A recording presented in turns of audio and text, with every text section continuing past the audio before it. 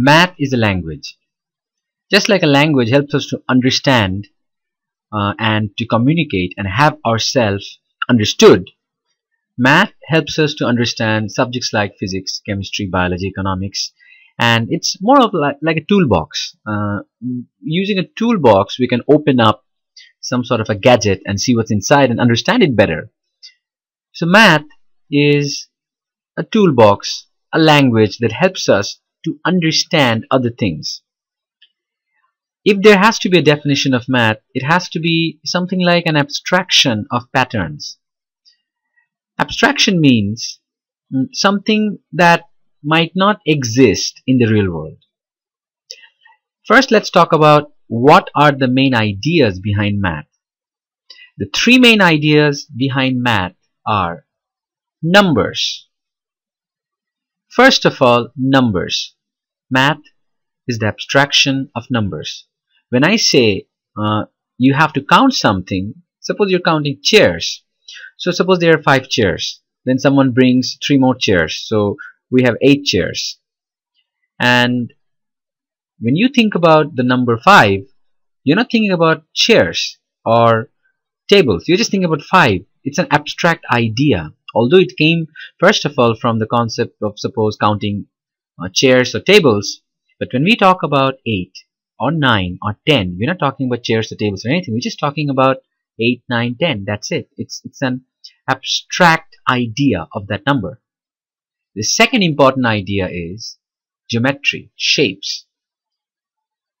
When we talk about shapes, we talk we, it could be uh, 2D shapes, triangles, circles, rectangles. It can also be solids. It could be cylinders, cones, etc. When we say think of a circle, we're not talking about think of a specific circle. We're just talking about an idea of a circle. It doesn't have to be a circle in the real world. It's an abstract shape. Math deals with abstraction of shape. The third important idea in math, it's logic.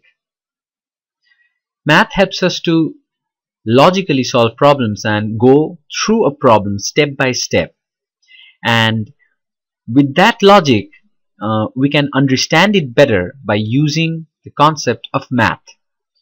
So the three ideas are numbers, shapes, and logic.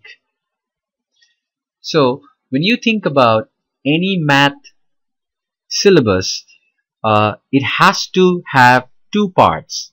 The first thing is the classical math. So the classical math deals with first of all numbers. So we have numbers. Now numbers means you're counting. It could be whole numbers. It could be fractions. It could be decimals.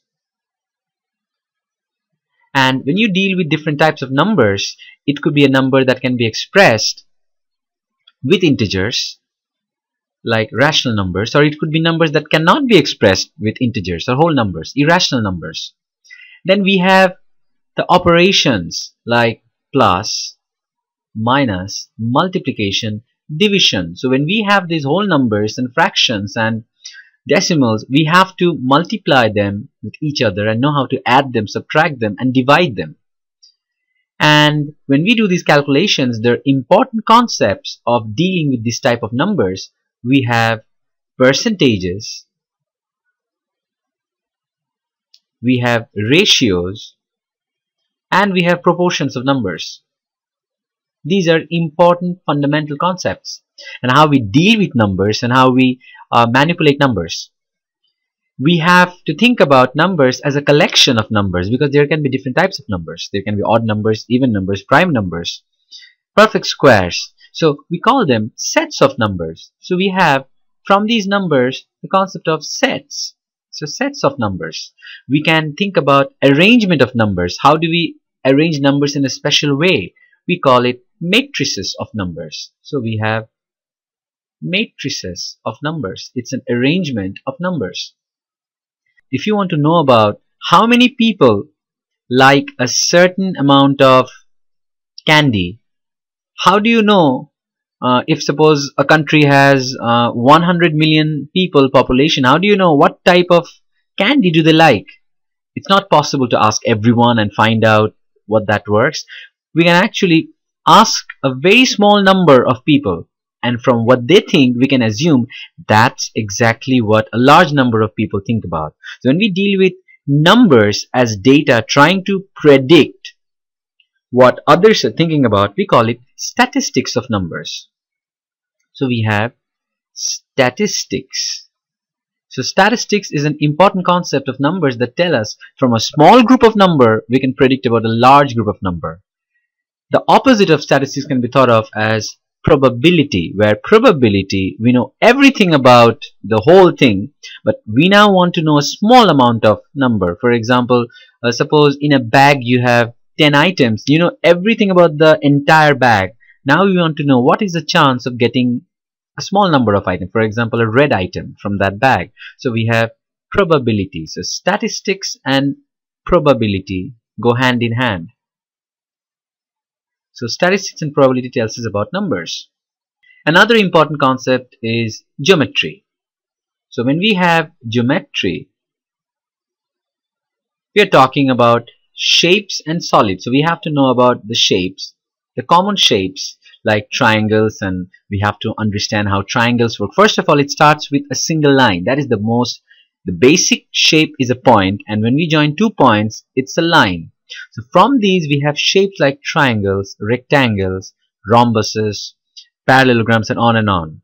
Then we have solids, 3D solids. They are 3D, they are not two-dimensional, they are 3D. So we have solids. And we have to find relationships. How much space do they occupy? We call the space occupied by a shape, we call it an area. And the space occupied by a solid, we call that a volume. In geometry, we also have to know about trigonometry. It's a special study of circles and we can also call it the study of triangles. After all, trigonometry means three earth measurement, trigonometry. So we have trigonometry that helps us in this measurement of 2D and 3D shapes and solids. And we have another important concept called vectors. Vectors tells us about space in one direction. Like how does a line work? And this is an important concept that later on helps in other topics like physics. How if something is moving in a straight line, how does the how does it work? So in geometric spatial relationship, we have vectors that helps us to know how something is working in a straight line. Now, numbers can also be expressed in terms of an unknown number. How do you do how do you deal with unknown numbers? An unknown number uh, can be uh, expressed in terms of a symbol like x. And dealing with these un unknown numbers we have another branch what we call algebra. So we have algebra. So algebra particularly deals with unknown numbers so this is also an important part of numbers. Expressions, how do you express the number with an unknown term? Uh, equations, we have to talk about also functions. So these are important concepts of algebra. The other part that we have is modern math. What we call modern math. Modern math primarily deals with two fundamental concepts coordinate or analytical geometry. Coordinate geometry and calculus. These two are the topics that deal with modern math. We can call classical math some sort of an applied math or general math and we can call modern math as a correct this modern math as pure math. Coordinate geometry combines the concept of algebra and tries to express algebraic expression using the algebraic expression to express geometric shapes. So thus we have coordinate geometries. It combines algebra with geometry. Calculus is the study of change. Starts from motion. So it actually started from uh, patterns of uh, study of astronomy, when we talk about calculus, we're studying change. Now, there are two branches of calculus. There is differential calculus and we have integral calculus. Differential calculus tries to helps us to find uh, the gradient or the change. If distance is changing with time, we can call it velocity. If velocity is changing with time, we call it acceleration. So it helps us to find change in this way by breaking it down. Integration, on the other hand, tries to join it together. The fundamental rule of calculus states that integration is the opposite of differentiation. In modern math, we use some higher form of classical math concepts like series. Series, where we want to find a list of numbers and how they would behave. Series can progress with a logic. It could be arithmetic series, it could be geometric series, it could be binomial series. Another higher form of number is some special numbers. When you multiply the same number over and over again, we get some sort of a, a expression, we call it logarithm. For example, 2 to the power 3 equals to 8. We call 3 the logarithm of 2, base 2 and the value is 8. Trigonometry can represent an angle. That angle can be more than 360 degree. Usually an angle is 360 degree. It looks like a circle, but in uh, in abstract trigonometry or arbitrary angle trigonometry, here we can have an angle more than 1000 degree also because we just keep circling circling around that circle. It doesn't really matter. So we have called a concept trigonometric identities. So these are not actual geometry, trigonometry, these are about identities. So this classical and modern math together form syllabus.